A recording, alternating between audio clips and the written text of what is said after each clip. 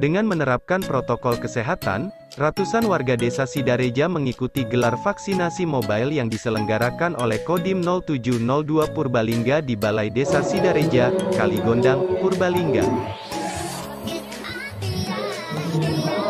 Warga mengikuti dari setiap tahapan, mulai dari pemeriksaan berkas sampai dengan pemeriksaan kesehatan, apabila dinilai aman maka vaksinasi dapat dilakukan.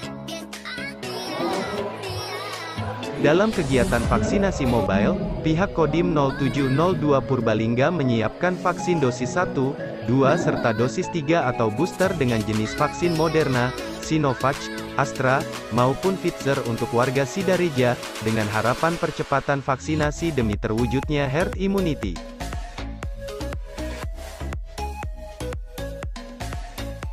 Vaksinasi secara mobile Kodim 0702 Purbalingga digelar setiap hari selama sebulan mendatang, namun dengan cara berpindah-pindah dari tempat satu ke tempat lainnya.